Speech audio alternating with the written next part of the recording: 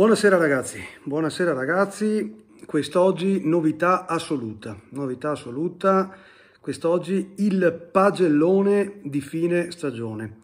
In cosa consiste? Molto semplice, praticamente dall'ultima alla prima non si farà altro che dare un voto alla prestazione, alla stagione diciamo di queste, de, delle, delle 20 formazioni di, di Serie A, partendo appunto dall'ultima.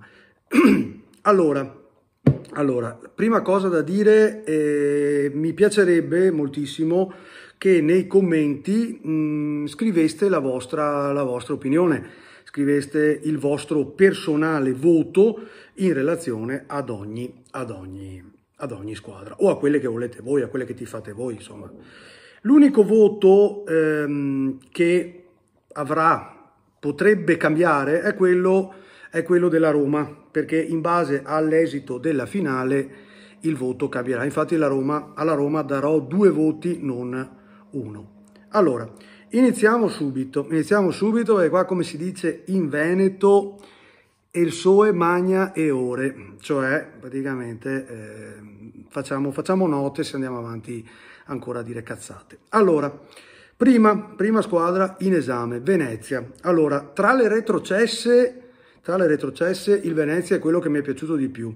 Gli do un 5,5. Ovviamente non posso dargli la sufficienza perché una squadra retrocessa non merita la, la sufficienza, però un progetto, un progetto interessante, un sacco di giovani, un sacco di giocatori provenienti dall'MLS, una bella presidenza un bel progetto, un bel progetto, mi è piaciuta, ho visto anche parecchie partite del Venezia, quindi da Veneto, da Veneto do un 5,5, ma comunque indipendentemente dal patriottismo è comunque stata una squadra che mi è, che mi è, che mi è piaciuta.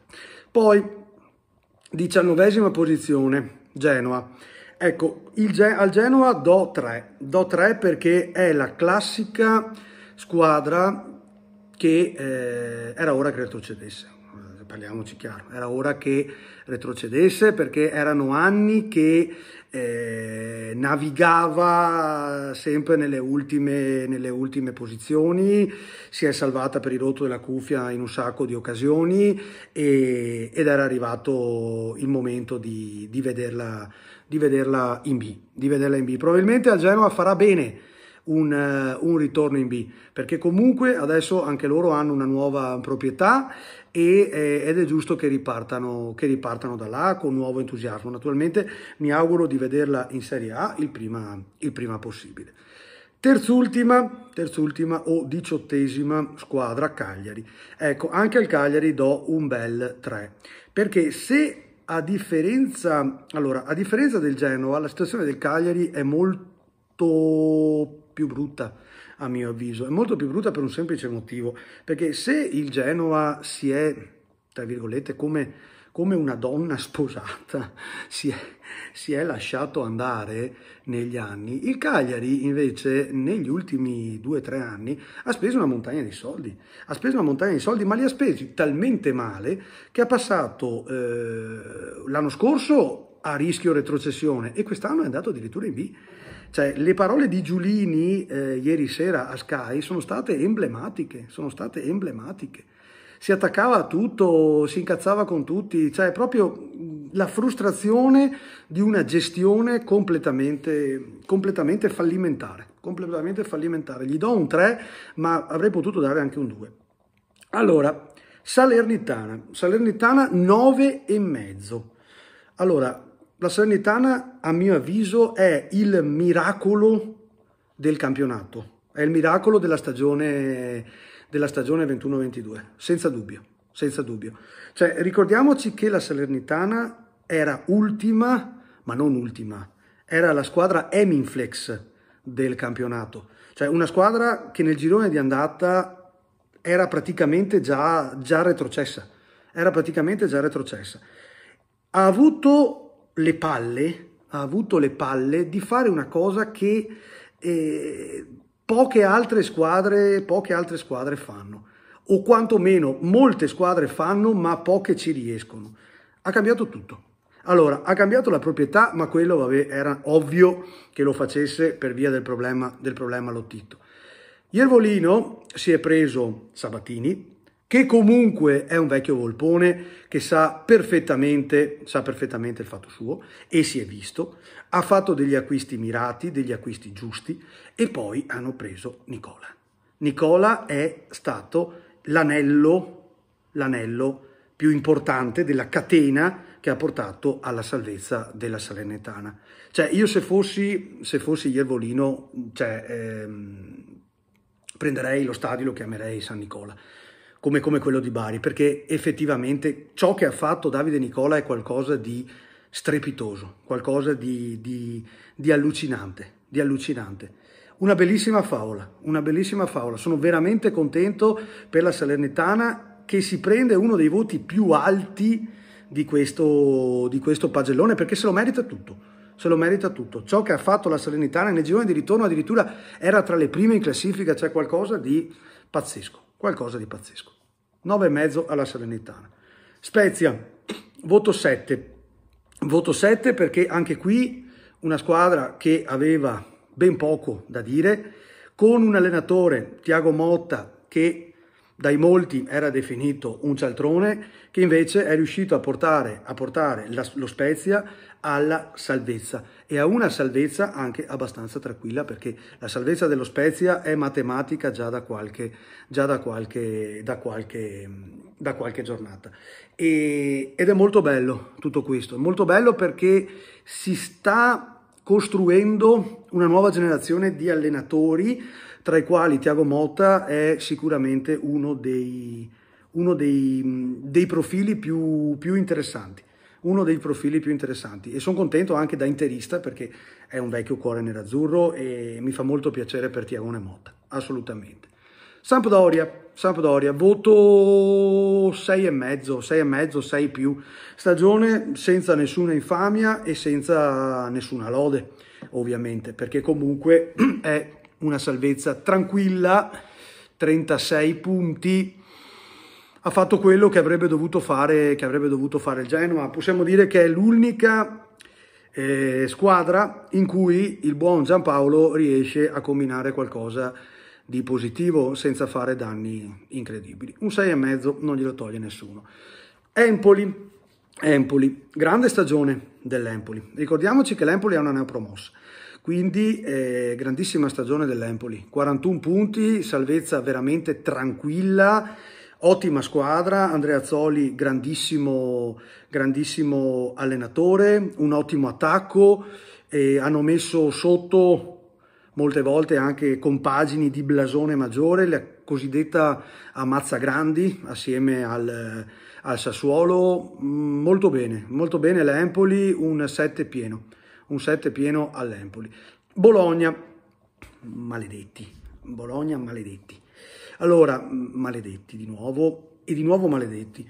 Allora, eh, il Bologna, il Bologna non, non, gli si può dare altro che un 7, eh, metà classifica, 46 punti, eh, è una di quelle squadre che, che bazzica sempre lì. Sono svariati anni che non è mai vicina alla zona Europa ed è sufficientemente distante dalla zona retrocessione, quindi è una squadra che fondamentalmente ha trovato la sua dimensione nella, nella metà classifica. E anche qua c'è una bella storia, c'è la storia di Mihailovic malato che dirige gli, gli allenamenti all'ospedale, che entra in campo distrutto e, e fa, fa, bene al calcio, fa bene, fanno bene al calcio queste, queste immagini, quindi bravo Bologna, bravo Bologna, mm, guarda, se, se, non vincevi con noi non ti sarebbe cambiato niente, perché da, guarda, vedo qua, da 46 punti saresti andato a 43 e ti saresti salvato comunque, ma comunque ci hai fatto perdere lo scudetto. Cazzate, l'abbiamo perso noi lo scudetto, l'abbiamo perso noi e quel fenomeno di Ionu Trado. Vabbè, non importa. Allora, Udinese, posizione numero 12. Posizione numero 12, Udinese. Io qua sparo un, eh, un 7,5 perché comunque una dodicesima posizione di un Udinese con un attacco migliore, se non erro, vediamo, sì, migliore rispetto a quello della Juve, è, è tanta roba ragazzi, è tanta roba. Hanno concluso con un sonoro 4-0, hanno giocato bene fino alla fine, la salvezza non è mai stato un problema perché ricordiamoci che questi hanno chiuso con 47 punti, che è tanto di cappello. L'Udinese è la classica squadra che non arriverà mai in alto, cioè è arrivata in passato ma con la gestione, con l'ultima gestione Pozzo, non, non, avrà mai la possibilità di arrivare in Europa, a meno che non imbrocchi proprio la stagione, la stagione perfetta. È una, una squadra che vende benissimo e compra benissimo. È una società molto, molto sana, che dovrebbe essere un modello per molte, per molte, altre, per molte altre società, a mio modesto, modestissimo parere. Sassuolo, Sassuolo, Sassuolo undicesima posizione, 50 punti. Un bel Sassuolo, un bel Sassuolo anche quest'anno, un bel Sassuolo anche quest'anno che si mette in metà classifica, ha rotto le palle a tanti, anche a squadre molto più, più blasonate, un, eh, un bel attacco, che dire, una, un'ottima stagione, un'ottima stagione per il, per il, Sassuolo, anche qui un 7,5 come all'Udinese non glielo, toglie, non glielo toglie nessuno. Arriviamo alla posizione numero 10, Torino. Allora, qui il discorso è molto semplice. Io qui al Torino do un 8. Allora, molti potranno dire che è un voto esagerato, però, però dobbiamo ricordarci cosa è stato il Torino negli ultimi anni. Una squadra che bazzicava nelle parti meno nobili della classifica, ma ci bazzicava anche in maniera pericolosa perché mh, ha rischiato anche svariate volte di retrocedere. Cioè una decima posizione del Torino è un, un mini capolavoro che ha fatto Juric. Juric è un grandissimo, un grandissimo allenatore. Quando mh, si parlava del post Conte si era fatto anche il nome di, di Juric e sinceramente a me sarebbe andato anche molto bene. Poi bisogna vedere se Juric è un allenatore da grande squadra o è un allenatore da squadra di metà classifica, da Torino, da Verona, bisogna capire quello. Però comunque eh, tanto di cappello, ha riportato il Torino ad una posizione ben più dignitosa di quella che aveva che aveva negli anni, negli anni precedenti. Un bel 8. Verona, nona posizione, 8 e qui ragazzi eh, è stato fatto qualcosa di molto importante. Ricordiamoci che il Verona, il Verona veniva dalla gestione Juric, che come ho detto col Torino è un grandissimo, un grandissimo allenatore. Il rischio di patatrack del Verona quest'anno era altissimo, perché perdere un allenatore come Juric non è una cosa piacevole. Io allo spaccabottiglia Igor Tudor non avrei dato una lira, ve lo dico proprio in totale, in totale sincerità, non gli avrei dato una lira, non gli avrei dato una lira. E invece si è dimostrato un grandissimo, un grandissimo, un grandissimo allenatore, tanto che notizia di oggi di Radio Sportiva, poi deve essere, deve essere confermata, sembra che l'anno prossimo vada ad allenare in Turchia al Galatasaray, ma questa è un'anticipazione che non, non ho verificato, o meno l'ho sentita alla radio, magari è così, magari no. Numero 8, Atalanta. All'Atalanta gli do un bel 4, gli do un bel 4, perché eh, un Atalanta fuori dalle posizioni europee io sinceramente non me l'aspettavo. Non me l'aspettavo.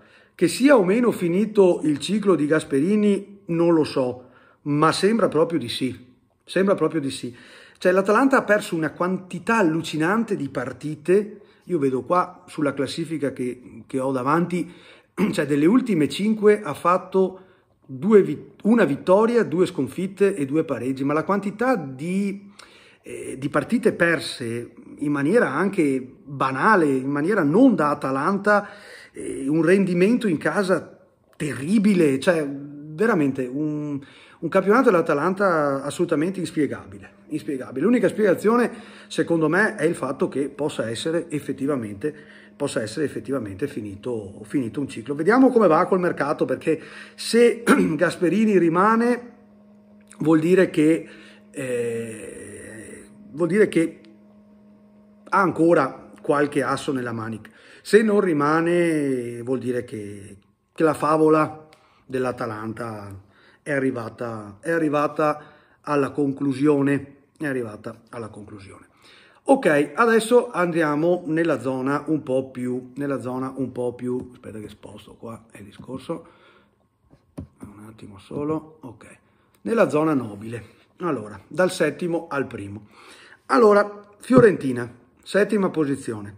Anche qua, 8 e mezzo, non glielo toglie nessuno. 8 e mezzo non glielo toglie nessuno. Ricordiamoci che la Fiorentina l'anno scorso lottava per non retrocedere.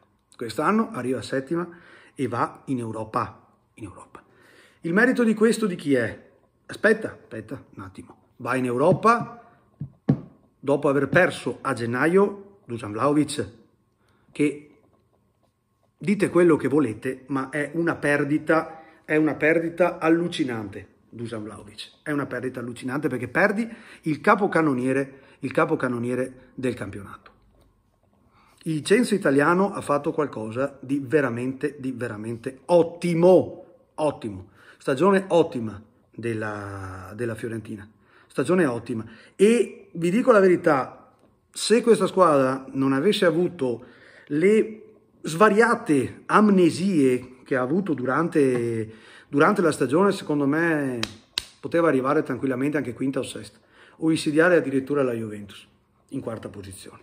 Però vabbè, andremo a vedere il prossimo anno se saprà, se saprà eh, confermarsi. Posizione numero 6, Roma. Allora, qui io a Mourinho gli do, gli do un bel 7 perché comunque ha fatto meglio dell'anno prima, ha fatto meglio di Fonseca e si è guadagnato una finale europea, che non sono mica cazzi, parlando in francese. Una finale europea che potrebbe anche vincere, ovviamente se, ovviamente se Mourinho riesce a portarsi a casa anche la finale di conference, riesce a portarsi a casa anche la Coppa, è ovvio che il voto da 7 va abbondantemente. Più in alto si parla di un 8,5 se non 9, perché vincere qualcosa alla Roma, ragazzi, non è da tutti, non è da tutti, secondo me. Lazio, quinta posizione, non male, non male, possiamo dare un 7 anche, anche a Sarri, molto criticato, molto bistrattato, comunque il suo quinto posto se l'è portato a casa, se andiamo a guardare i numeri freddi, alla fine non ha fatto neanche una stagione pessima.